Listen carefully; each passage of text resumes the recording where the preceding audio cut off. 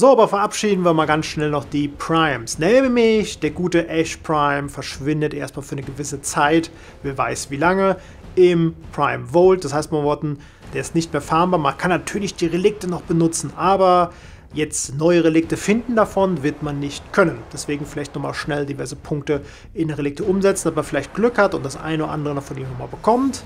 Dann dürfen wir noch auf Wiedersehen sagen zu der guten Vectis Prime. Ja, auch dieses Scharfschützengewehr wird jetzt mit dem Ash Prime im Vault verschwinden und das ist eigentlich eher schade. Auch wenn ich jetzt persönlich nie das Ding so oft benutzt habe, wie man es hätte eigentlich mal machen müssen. Aber was soll's. Es sieht auf jeden Fall sehr cool aus und es hat halt, gerade von den Schadensarten ist es jetzt nirgendwo super toll, aber es hat alles halbwegs. Wo ich jetzt sagen kann, ganz okay. Vor allem 25% Crit-Chance mit zweifacher Multiplier und 30% Status. Das Einzige, wo man jetzt meckern gehen könnte, wäre, dass eben die Schadensrichtung verteilt sind. Aber hey, baut man ein paar Elementmods dazu und schon passt die Sache. Deswegen. Auch für dich, Scharfschützengewehr, der du so cool aussiehst, winke, winke. Aber auch zum Carrier Prime müssen wir auf Wiedersehen sagen, denn der kam auch damals mit dem Ash Prime ins Spiel und auch wenn er jetzt seine große Saugfähigkeit jetzt nicht unbedingt mehr alleine hat, weil es jetzt das Mod ja allen Sandals slash Wächtern äh, zur Verfügung stehen ja hat, aber äh, immerhin, er hat ja einen Munitionswandler gekriegt und der war nicht so verkehrt. Immerhin, die, wenn ich mich nicht vertan habe, die Waffe, die man equipped hat, mit, die hat er immer äh, eben mit Munition versorgt, wenn man halt jetzt auch andere Munitionstypen aufgesammelt hat. Verkehrt war das nicht. Da musste man halt eben in eine Waffe, die viel Moon verschleudert, sei jetzt mal, nicht jetzt die mit dem Munitionswandler selber ausrüsten, sondern konnte einfach den Carrier Prime dafür benutzen. Das war schon nicht verkehrt. Problem ist, ich benutze in der Regel nicht solche Waffen, die, ich sage jetzt mal, sehr schnell Munition verlieren. Deswegen, hm? Aber für diese Spielweise war der Junge tatsächlich gar nicht mal so unwichtig.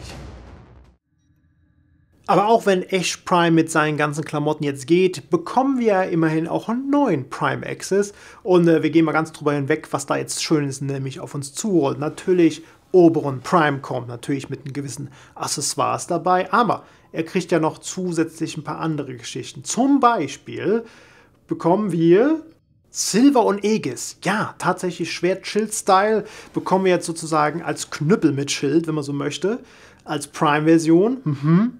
Also Silver und Aegis Prime, okay, sag ich mal. Sozusagen Prime im Doppelpack, könnte man beinahe sagen, aber gut, zählt natürlich als eine Waffe, aber trotzdem. Das sieht schon mal nicht unbedingt schlecht aus. Und zusätzlich bekommen wir als Primärwaffe noch dazu die Sybaris Prime. Holy shit! Wenn die auch nur so andersweise so gut ist wie die äh, Dex Sybaris, dann sage ich nur so wie ja, das wird jetzt auch noch eine von den sehr wenigen sozusagen Burst-Waffen, die ich tatsächlich gut finde im Spiel. Normalerweise wisst ihr vielleicht noch, ich bin kein großer Fan von Burst-Waffen, die so immer drei Schüsse rausrotzen. Aber gerade bei der Sybaris habe ich immer mehr für mich gedacht, so, ey, das ist so cool damit zu schießen. Das hat so einen guten Sound, so guten Aufschlag vor allem bei seinen Gegnern und vor allem Leute verbluten lassen mit sowas. Sehr fettes Ding. Sehr fettes Ding. War ich sehr positiv überrascht von dem Teil und wie gesagt, wenn auch nur diese Sybaris Prime nur ansatzweise cool ist, eben wie die Deck Sybaris, dann ja, dann wird es wahrscheinlich die wichtigste Waffe für mich sein, die ich die nächste Zeit erfahren möchte. Das sehe ich jetzt schon wie ein Güterzug auf mich zumarschieren. Äh, fahren, rollen, hupenderweise. So, und jetzt gehen wir mal schnell los, weil ich habe ja noch ein anderes Thema heute am Start, nämlich Keystone allzu viel, muss ich fairerweise sagen, konnte ich noch gar nicht darüber rausfinden, aber so ein paar Eckpunkte, worum sich dieses Spiel drehen wird, können wir jetzt schon mal erfahren. Ich bin nämlich extra mal auf die originale Digital Extreme Webseite gegangen. Ja, da gibt es extra eine Webseite für und dort wird nämlich in etwas ausführlicher Form auch eben Keystone ein bisschen beleuchtet und zudem habe ich noch die eine oder andere sozusagen Webseite aufgesucht, wo eben über das Spiel schon berichtet wurde und da habe ich mir so ein bisschen so einen kleinen so ein Portfolio an Informationen, ein Blumenstrauß an Informationen quasi für euch mal zusammengestrickt und äh, ich trage das mal kurz vor, obwohl ich teilweise hier Sätze oder Sätze, ganze, ganze Textblöcke hier erstmal ins Deutsch übersetzen muss, weil ich wollte es euch jetzt nicht, äh, ich wollte euch ersparen, dass ich das in Englisch vorlese, sagen wir mal so. Zusammengefasst wurde es von anderen schon, dass es in Richtung von Paladins, was man gerade auf Steam auch umsonst spielen kann, auch ein Free-to-Play-Shooter eben werden und der eine oder andere könnte es natürlich auch mit Overwatch im weitesten Sinne vergleichen. Allerdings von den Mechaniken wie das hier werden wir gleich feststellen, ein bisschen anders aussehen. Weil Overwatch haben wir jetzt momentan oder auch bei anderen äh, Paladins-Systemen momentan, wie es da steht, ist ja schon so, okay, ihr habt ein Objekt auf der Karte und äh, gut, Paladins hat jetzt noch so ein extra sozusagen Loadout-System, wo gesagt wird, okay, du kannst irgendwelche Sachen aktivieren im Laufe deines Level-Ups, wenn du da Punkte für ausgibst oder eben eben diese sozusagen Karten dort wählst. Aber äh, das hier hört sich noch einen, einen ganz kleinen Tacken anders an. Äh, deswegen fange ich mal oben an. Im ersten Zusammenzug wurde erstmal hier noch ein bisschen beschrieben, warum, wieso, weshalb dieses Spiel überhaupt möglich war. Nämlich dadurch, weil Warframe so ein Hit ist, haben sie noch ein Team innerhalb ihrer Firma gründen können und dieses war eben abgestellt worden, um eben ein neues Spiel zu kreieren, eben Keystone. Um das mal ganz kurz zusammenzufassen, was steht. Und er soll auch hochqualitative Free-to-Play Erfahrung sein für den Spieler. Meine Gott, das sind, das sind so Sätze, wo man sich fragt, wer hat sich ausgedacht? Marketing-Leute in der Regel. Aber ja, das soll also sowas werden. Mhm. Es soll ein First-Person-Shooter werden. Okay. Und zusätzlich soll tatsächlich was drin sein wie Deck-Building-Strategie. Das heißt, falls einer sowas kennt, solche Spiele, wir reden von Kartenspielen, die äh, über die Zeit quasi, ja, wie soll ich es formulieren? Deckbuilder-Games, hm, wir reden jetzt nicht sofort von Hearthstone, weil da ist das Deck ja fertig. Wir reden davon, dass während des Spiels das Deck erst kreiert wird.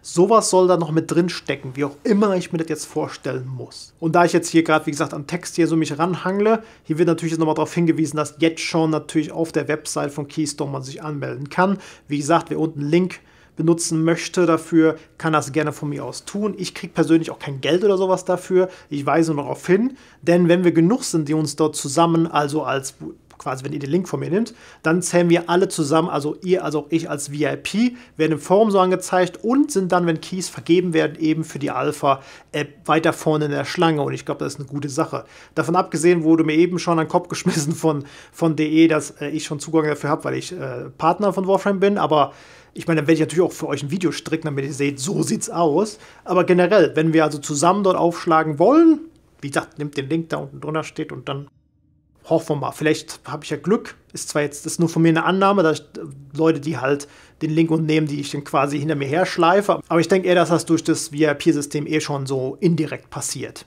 Auch wenn ich natürlich jetzt keinem garantieren kann, dass er nachher in die Alpha kommt, die übrigens noch nicht läuft. Vielleicht wichtige Sache, die läuft noch nicht. Wir melden uns jetzt nur dafür an, dass wenn es losgeht, äh, wir dann auch mit reinkommen. Wobei unten wird auch gleich noch gesagt, was dazu, wann es überhaupt damit startet. Vielleicht, der das Bild jetzt sich ein bisschen länger angeguckt hat, wird jetzt sagen, irgendwie kommt mir das Design von den ganzen Helden dort ein bisschen altbacken aus. Ja, ich persönlich hat es direkt an äh, Perry Roden dran erinnert, was ja so, glaube ich, 60er, 70er Jahre ist, so Sci-Fi. Und da hat das halt noch, ja, fliegende Untertassen sahen wirklich aus wie eine Untertasse mit oben vielleicht einer Käseglocke oben drauf. Bam, war ein Raumschiff. Oder Leute hatten halt große Glaskuppeln am Kopf, um eben sich zu schützen vor Weltraum eben Sauerstofflosigkeit und, und so Geschichten. Das sah halt alles noch ein bisschen, ich möchte sagen, strange aus. Ich bin persönlich kein großer Fan von der Optik, muss ich gestehen, weil ich war nie ein großer Perry Roden-Fan. Ich fand die Optik einfach nur furchtbar. Aber das ist am, Ende des Tages immer noch Geschmackssache. Ich hoffe inständig, wobei ich habe ein paar Roboter gesehen, mit Roboter komme ich immer klar. Mit Roboter komme ich immer klar. Meistens aus der Zeit sehen die nicht so schlimm aus wie die ja, Raumfahrer. Aber hier wird auch noch darauf hingewiesen, dass eben aus den, wie war's? Aus dem 70er Retro Pulp Area, was auch immer das sein soll. Ich kenne es jetzt persönlich nicht. Ich kenne nur, wie gesagt, Perioden, das hat mir schon gereicht.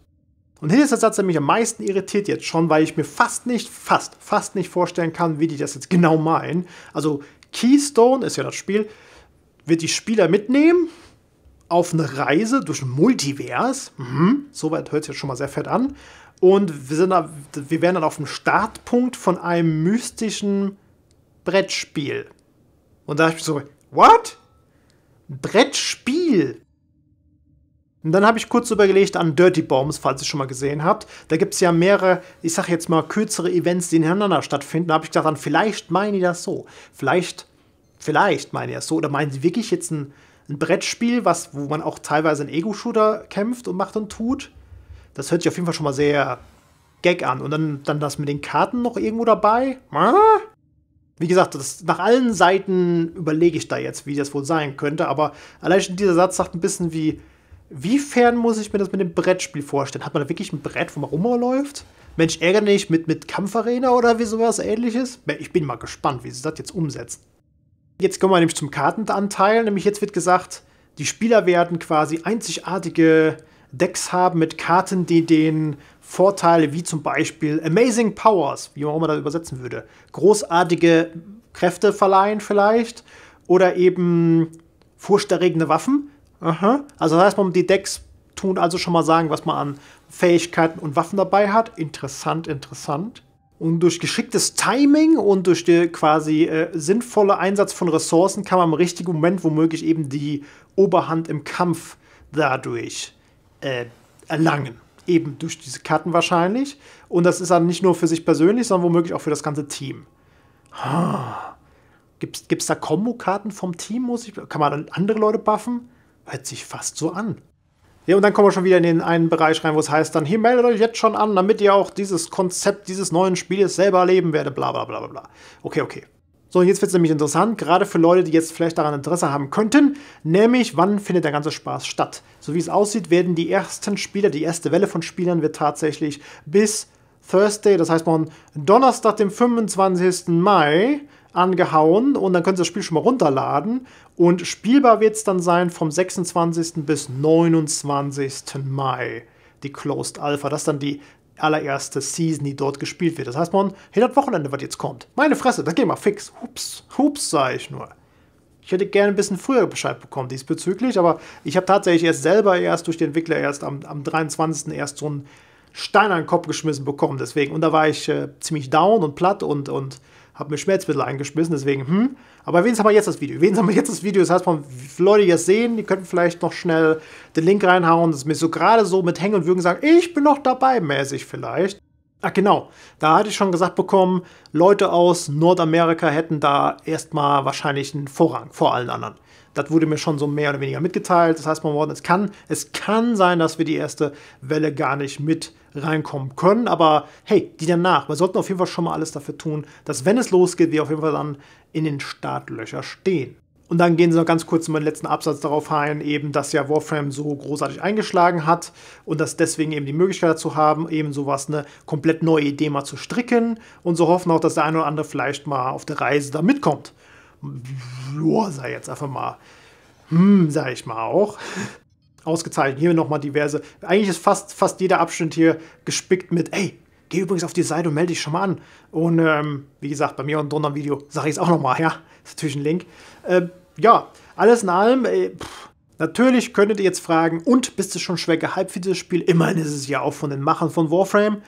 Da muss ich persönlich sagen, mh, hm, Vorsicht, weil ich bin ich habe schon zu oft Hypes miterlebt und bis jetzt hat sich noch nie Hype wirklich ausbezahlt. Es gibt nur eine wirklich eine Handvoll Spiele, wo der Hype wirklich die Sache wert war. Deswegen warte ich erstmal ab, äh, warte ab, bis ich ins Spiel reinkomme, mache dann auch ein Video und gebe meine ganz ehrliche Meinung dazu ab. Völlig egal, ob ich jetzt Warframe-Partner bin oder nicht.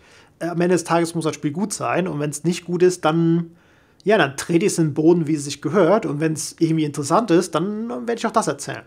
Hm. Ich glaube, das ist fair. Ich, ich, ich denke, so rum ist es am fairsten, wie man es machen kann. Und äh, ich bin, vielleicht bin ich einfach pessimistisch mittlerweile. Ich glaube einfach nicht mehr daran, dass Leute in der Lage sind, einfach aus dem Nichts ein gutes Spiel zu bauen. Ich werde zwar zwischendurch deswegen noch überrascht von welchen, die es wirklich hinkriegen, aber man muss sagen, die sind schon nicht schlecht. Ich erinnere mich nur daran, damals hieß es ja auch, erinnert euch vielleicht an die Leute wie Blizzard Entertainment, die ja durchaus äh, Overwatch als MMO geplant haben, was am Ende rausgekommen ein Shooter der ist zwar nicht schlecht, aber ursprünglich war das gedacht als großes angelegtes MMO. Und das ist eben nicht das Gleiche. Denn auch Firmen wie Blizzard, die sehr viel Geld hatten, waren am Ende schon mal nicht in der Lage, ihr eigenes Konzept in Spielspaß umzusetzen. Wie sie selber ja mal gesagt hatten öffentlich, we couldn't, we couldn't make it fun. Das heißt, man so konnten es einfach nicht so hinkriegen, dass es Spaß machte. Ich glaube, das ist im Endeffekt der Kern- und Angelpunkt der ganzen Geschichte. Wird dieses Spiel hernach einem Spaß machen? Es ist mir völlig egal, ob es Free-to-Play ist oder ob es Geld kostet oder nicht, whatever. Natürlich, wenn sie jetzt hier anfangen, einen auf große, die große Absahne zu starten, äh, dann werde ich es auch nicht toll finden, unbedingt. So ist Pay-to-Win und so Geschichten. Aber man muss sagen, bei Warframe alles in allem, alles in allem gesehen, Warframe muss man doch sagen, sind relativ fair bei dem Ganzen, was sie da tun. Wenn sie das so übernehmen für auch dieses Spiel, habe ich diesbezüglich schon mal keine Panik. Aber ob das Spiel gut wird, ich weiß es nicht. Wie gesagt, das Artwork sieht zwar cool aus, aber ich bin kein Fan davon.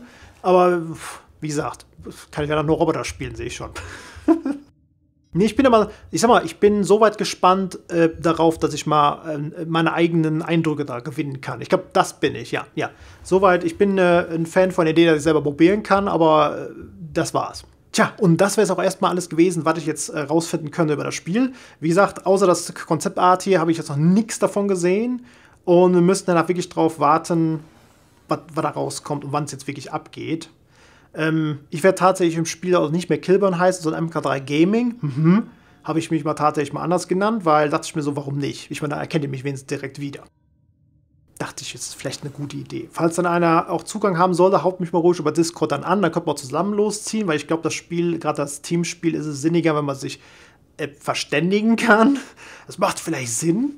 Und dann warten wir erstmal ab und gucken uns die Sache an, wenn es soweit ist. Sollte ich hier irgendwie Videomaterial aufnehmen können, dürfen, machen, tun, dann, äh, dann werdet ihr natürlich auch ein Video auf meinem Channel davon erblicken. Ansonsten ist ja nicht, wie krieg Rex sagt, pass auf, du darfst hier nichts aufnehmen, dann werde ich womöglich, naja, dann werde ich irgendwas Trickreiches machen, damit ich doch was zeigen kann. vielleicht ein paar Screenshots, ja, vielleicht ein paar Screenshots, damit ihr ungefähr wisst, worüber das Spiel geht. Wir reden von der Alpha mittlerweile ist das ziemlich platt getreten, aber ich meine, Alpha ist eben nicht das fertige Spiel. Wir haben normalerweise, normalerweise sieht es so aus, eine Alpha, dann eine Beta, dann vielleicht eine Open Beta irgendwann. Also die anderen beiden waren natürlich closed in dem Falle. Und dann haben wir das Spiel irgendwann die Gold-Version fertig. Zumindest war es damals ziemlich oft so, wie es lief. Und wenn das jetzt eine Alpha ist, wo zum Beispiel Platzhaler noch viele sind, dann muss man sagen, okay, da fehlen noch ein paar Sachen, aber man kann ja trotzdem schon mal von der Mechanik sehen, oh, ist das irgendwie interessant oder ist es völliger Bullshit? Gucken wir mal, gucken wir mal einfach. Schauen wir mal. So, und das wäre es von mir wieder heute gewesen. Danke fürs Beischauen und Zuhören. So viel zum Thema erstmal von Warframe und in dem Fall ausnahmsweise mal Keystone. Wie gesagt, ich bin am Ende des Tages interessiert daran, aber wie gesagt, auch Digital Extreme allein der Name reicht nicht, um mich jetzt in Hype zu versetzen. Das, die Zeiten sind da vielleicht durch. Vielleicht ganz wichtig noch der Hinweis, äh, wir sollten die Warframe-Entwickler nicht mit Fragen löchern zu Keystone. Das hatten sie extra dabei schon mal geschrieben, auch im Forum nach dem Motto, weil die haben dann mit dem Spiel nichts zu tun. Das ist wirklich ein eigenes Team innerhalb der Firma. Deswegen, es macht also gar keinen Sinn, Leute anzuhauen von Warframe und sagen, ey, wie ist das überhaupt? Brauchen wir nicht, lohnt sich nicht. Wir können aber die Entwickler eben von Keystone direkt anhauen. Mal gucken, wie das danach läuft. Mit einem extra Forum oder so. Müssen wir mal schauen, wie es dann geht. Oder ich äh, vielleicht irgendwie Glück habe, über Discord den einen oder anderen äh, zu erwischen. Aber auf jeden Fall soll ich auf gar keinen Fall, oder auch ihr am besten, gar gar nicht auf die Idee kommen, irgendwelche Leute von Warframe anzuhauen, weil die haben damit einfach mal nichts zu schaffen. Das hatten sie extra dabei geschickt. Gut, jetzt sind wir aber wirklich durch. Bis die Tage und ciao.